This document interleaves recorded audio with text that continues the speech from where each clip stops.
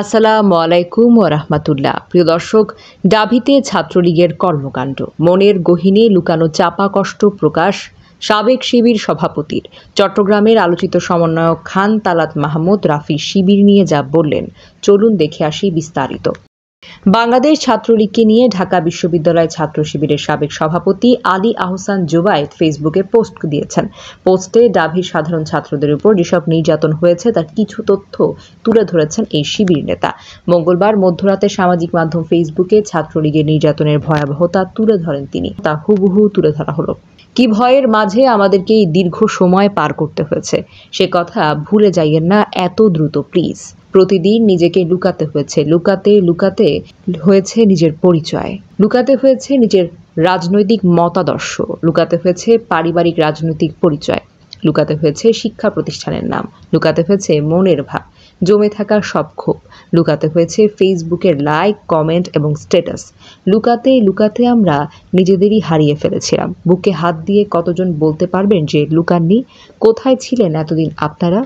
প্রতিদিন কত কষ্টকে লুকিয়েছি। গণরুমের নামে বসবাসের অযোগ্য জায়গায় থাকার কষ্ট। গেস্টরুমের নামে বর্ণাতীত সব নির্যাতনের কষ্ট। ক্যান্টিনের মানহীন খাবার খেয়ে কোনো রকম বেঁচে থাকার কষ্ট। ক্লাস পরীক্ষায় ফেলে বাধ্যতামূলক প্রোগ্রামে অংশ নেওয়ার কষ্ট। রাতে হল থেকে বের করে দেওয়ায় সারা রাত নির্ঘুম রাত কাটানোর কষ্ট। রেজাল্ট ভালো না করতে পারার কষ্ট। রেজাল্ট খারাপ করিয়ে দেওয়ার কষ্ট। ভালো রেজাল্ট করেও শুধু রাজনৈতিক অবস্থানের কারণে শিক্ষক না হওয়ার কষ্ট। কি? লুকাননি আপনারা এসব?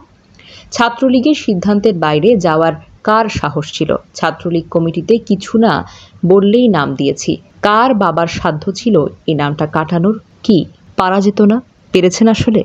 ভুলে গেলেন কি করে এসব? শত শত নির্যাতিত শিক্ষার্থীদের ভুলে গেছেন আপনারা। আবরারকে ভুলে গেলেন? নির্যাতনকারী আর নির্যাতিত ফারাক করতে ভুলে গেলেন। দীর্ঘ ষোলো বছরের এই ভয় আর নিগ্রহের রাজস্ব সৃষ্টি যারা করল, নির্মম নির্যাতন চালালো তাদেরকে বিচারের মুখোমুখি করতে আসুন না। এক হয়ে লড়াই করি। এদিকে চট্টগ্রামের আলোচিত সমন্বয়ক খান তালাত মাহমুদ রাফি তার ফেসবুক আইডিতে শিবির নিয়ে এক পোস্ট বলেন, ছাত্র শিবির। বুঝ হওয়ার পর থেকেই শুনে আসছি, শিবির বেশ খারাপ। অথচ কোনো চাঁদাবাজি, টেন্ডারবাজি, দুই পক্ষের মধ্যে তুমুল সংঘর্ষ, এসব কোনো খবর কখনো দেখিনি। শুধু রক কাটার খবর পাইছি। কিন্তু কে কখন কার রক কাটছে, এই সবেরও কোনো স্পষ্ট তথ্য পাইনি। শুনেছি অনেকে রক কাটা দেখার জন্য তাদের সাথী থেকে শুরু করে কেন্দ্রীয় লিডার পর্যন্ত হয়ে গেছে। কিন্তু রক কাটা দেখতে পারিনি। হায় আফসোস!